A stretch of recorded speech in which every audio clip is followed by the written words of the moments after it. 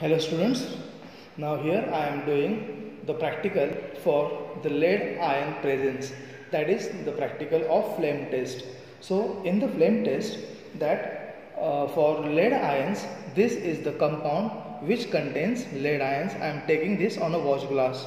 So add little bit concentrated HCl to make the paste.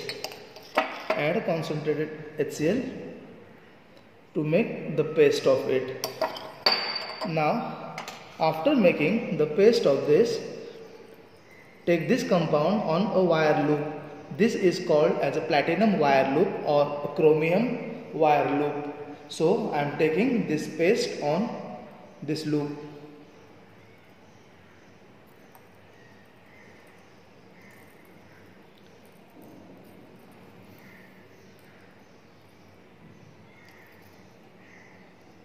and heating this on a blue flame oxidizing flame and see the color change of the flame. Look. This is a white bluish white color.